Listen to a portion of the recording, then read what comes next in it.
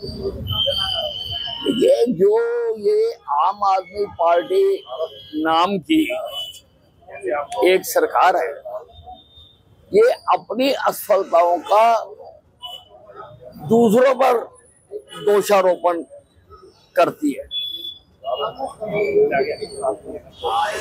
पहले इनके पुराने बयान निकाल कर देख लो।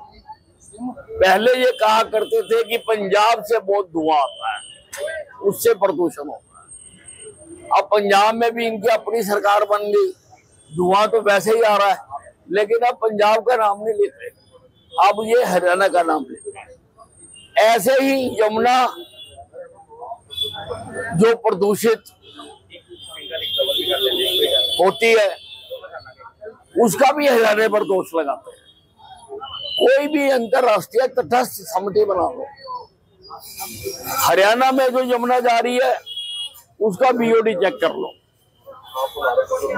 और दिल्ली में प्रवेश करने के बाद, ओखला तक की जो दिल्ली है, उसका बीओडी चेक कर लो। हरियाणा से पाँच, सात, दस गुना ज़्यादा बीओडी है। कैसे बढ़ गया वो? कौन देखेगा उसको? दिल्ली में किसकी सरकार है? कितने नाले वहाँ दिल्ली में जाके मिल रहे हैं? उनका कौन करेगा इंतज़ाम? तो ये झूठी पार्टी है, आम आदमी पार्टी, झूठी पार्टी।